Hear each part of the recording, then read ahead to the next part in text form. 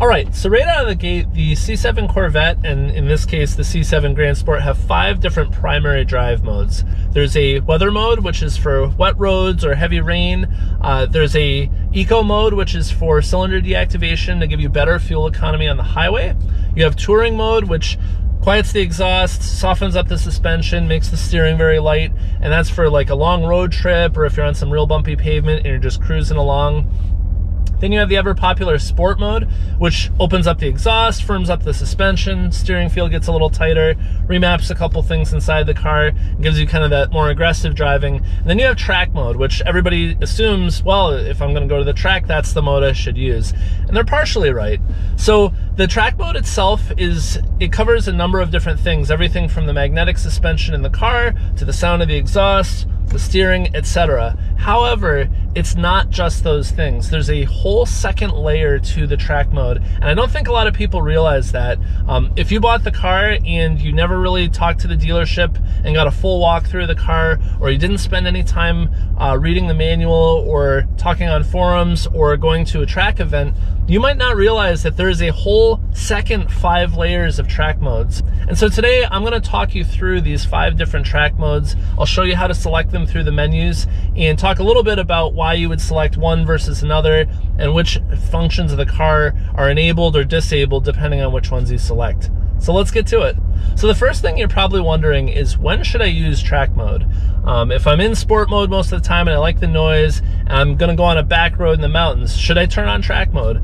And the answer is it depends. So between a lot of the normal drive modes, uh, the car is activating or deactivating or adjusting different aspects of the car as I had mentioned before.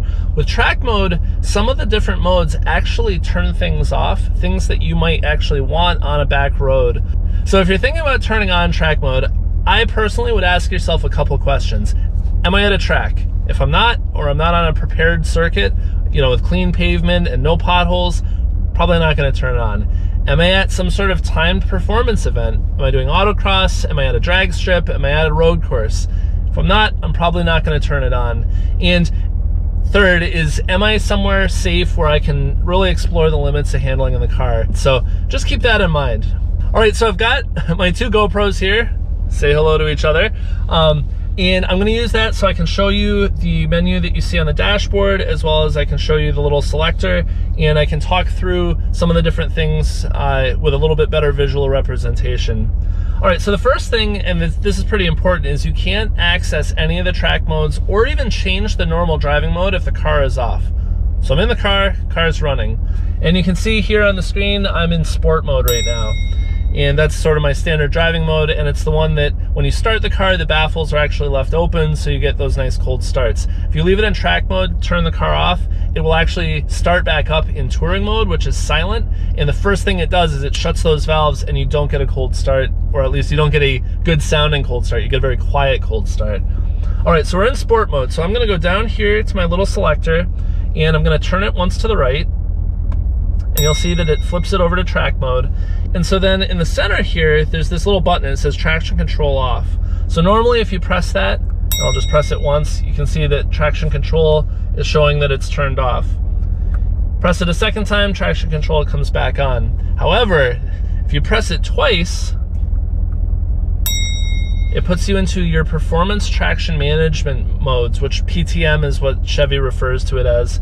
And these are the different modes that you get within the track mode. And so these don't actually change the performance of the engine or the throttle mapping. These actually give you uh, control over the traction and how the car deals with loss of traction.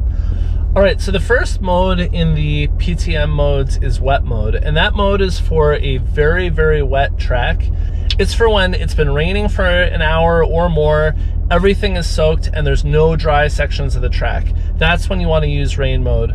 The slip targets for the traction control are a lot lower, meaning it is much easier to trip traction control so that you don't get really out of control um, and in, induce a high speed slide or something. Um, if you're on a track that's damp or it's spitting rain but it's not really wet, you'll have to flip back and forth between trying to figure out if maybe dry mode versus wet mode, which one's going to give you a little bit better control of the throttle and which one's going to give you enough power without, you know, throttling things back uh, whenever it detects any wheel spin. But generally, the rule of thumb is wet mode is for a soaked track. That's the way to think of it. So I'll turn this. And the next mode here is dry mode. And so what dry mode is, is it's for a novice driver on the track learning and, and getting more confidence, or it's for an experienced driver, but it's their first time at a new track.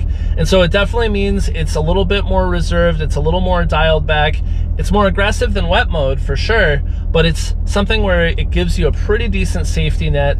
Um, it's a little bit more relaxed on slip, but not a ton. So, so if you're really slamming on the gas and you're not very smooth with your movements, you're definitely going to feel this thing kick in. It's going to dial back the throttle. It's going to step in and you'll feel it where the engine's not going to feel like it has full power. If you're trying to drift or slide the car, not going to happen. Um, and this mode's really a good safety net for you to learn safely and you can drive pretty ham-fisted if you wanted to. Not that I recommend it, but that will actually um, help you learn a track while having the full safety net uh, enabled. Um, also, the electronic stability control is in competition mode, so it means things are a little bit more rat ratcheted up, a little bit more dialed. So um, something to keep in mind. All right, so we're gonna turn this again, and the next mode here is Sport 1. So now we're starting to get into the, the really exciting modes. So what Sport 1 is, is this is for an experienced driver starting to really want to set a competitive lap time. So this is this is definitely an aggressive mode. It will give you a fair amount of leeway with the throttle. You can induce some spinning, you can induce some slides, and the car is not going to dial it back. It's going to let you do that. And so one of the big things about Sport 1 is it still has stability control enabled, meaning that the car will when it detects a, a, slide or an out of control maneuver, the car will step in and it'll help correct course so that you don't fly off the track. This is a good one if you had a passenger. Let's say you're doing an autocross where you have a, another person in the passenger seat. It still has some safety nets. It's to keep things pretty safe, but it is there for you to go fast and it will have a higher limit than the previous dry mode or wet mode, for example. Um, so something to keep in mind. Now the next mode here is Sport 2. And so Sport 2 is definitely the the next ratcheting up here. So Sport 2 uses the same traction control settings as Sport 1, but it has the electronic stability control completely turned off. The car is becoming more and more raw and there are less and less layers in between what you do on the inputs, so the brakes, gas, throttle. And so there are less layers in between you making an input to the car and then the car reacting to it. There's less safety nets. And so in Sport 2, uh, the electronic stability control is turned off, but the traction control settings are still on, so you do have that safety net going for you, that it will catch you if it's trying to spin out, but it's not going to st stabilize the car if you get out of control, you know, or you induce a slide. And so this is one less safety net, and it's it's definitely if you're starting to to go pretty fast, um, and short of of kind of the last mode, which I'll get into in a second, this is pretty much if you're familiar with a track and you're a pretty competent driver, this is probably the mode you'll stay in if it's good weather on a known track and you're an experienced driver. Which brings us to our last mode here, and that is race mode. And so race mode, it's fairly self-explanatory, but this is basically the Corvette designer's way of making the car go as fast as it possibly can. Everything is optimized for maintaining and getting the fastest forward speed and there's even, it will let you spin out and you need to course correct as the driver on the throttle and your steering inputs in order to keep the car under control. There are no no safety nets here. This is a lot more bare bones, and this is basically if you are in a competition event, this is probably the mode you want to be in, provided you're you know on dry pavement. Uh, this even takes into account the temperature of the tires. You need to be on new rubber, so pretty new tires with a lot of tread left. And even with that, you need to be an experienced driver for this mode. This mode basically is the equivalent of everything turned off, um, but it does still keep just the bare minimum of things like MagRide uh, on in the background, and and it does have some of the kind of underlying things that cannot be turned off. But overall, this is the most raw the car will be. If you want to go do a monster burnout, this is the mode that will let you do that. So um, race mode is for setting the fastest possible lap time in this car, driving at 9 tenths, 10 tenths, as fast as you possibly can. So I personally haven't used race mode yet. Uh, I've used dry and I've used track one and probably my next event, which is coming up here in a couple weeks, my next event, I'll probably go into sport two, where I'm starting to get more comfortable with the tracks and the places that I've been driving. And I think it'll be a while before I go into race mode. I still like having some of those safety nets kind of watching over me. Um, whereas race mode is really, it's, it's you and it's the most analog, you know, instance of the car. So one other thing to mention here is when you flip back and forth between the modes, it doesn't actually show you that it's selecting it. There are two ways that you can select that mode. You can either flip it to a mode and leave it on, and after about 10 seconds, the menu goes away and it will be in that mode. The other is that once you select a mode, you can then go down to the steering wheel and press the select button, and that will drop it back into that mode. It'll select that mode and so if I go and do that and then I press the OK, you can see it just immediately drops back into the menu that I was on.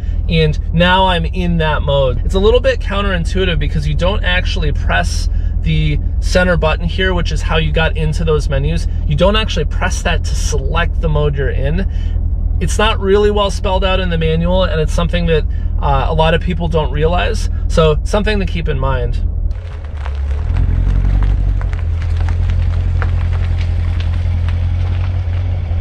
All right, so I hope you found that informative. I'm in the process of starting to get ready to do my first track day, do some autocrosses. I just bought a SA 2020 uh, track helmet, and I've been starting to talk to track organizations and just learning the ropes and how that works. All right, so I hope you found that useful, and until next time, Fred out.